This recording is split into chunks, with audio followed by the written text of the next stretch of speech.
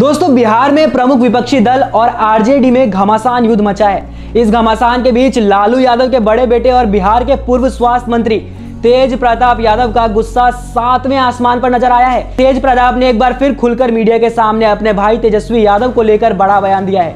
दरअसल, तेज प्रताप यादव अपनी माँ राबड़ी के आवास पर भाई तेजस्वी यादव से मिलने पहुँचे थे। इसके बाद वो अपने आवास के लिए निकल गए। अब उन्होंने जनता दरबार लगाने की घोषणा तक कर दी है। चलिए आपको पूरा विवाद बताते हैं कि विवाद है क्या।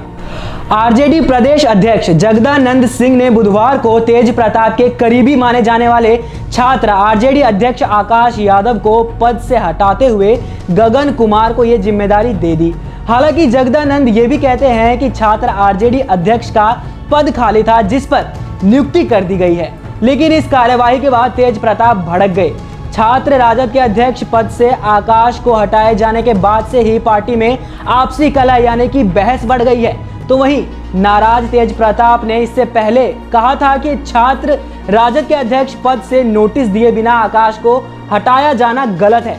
इस बात को लेकर उन्होंने कहा कि प्रदेश अध्यक्ष ने पार्टी संविधान को तोड़ने का काम किया है। तेज प्रताप ने इस बयान के बाद से ही पार्टी में वाद विवाद तेज हो गई।